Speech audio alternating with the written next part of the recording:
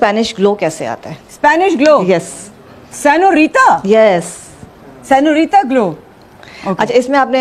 Fresh milk लेना है one table spoon ठीक है इसके अंदर चीनी डाल देंगे तकरीबन चौथाई चमचा ठीक है बहुत थोड़ा सा दूध आप टेट्रा पैक भी ले सकते हैं फ्रेश हो तो अच्छा नहीं तो टेट्रा पैक भी ओके okay. अच्छा okay. इसमें हम डालेंगे हाफ टी स्पून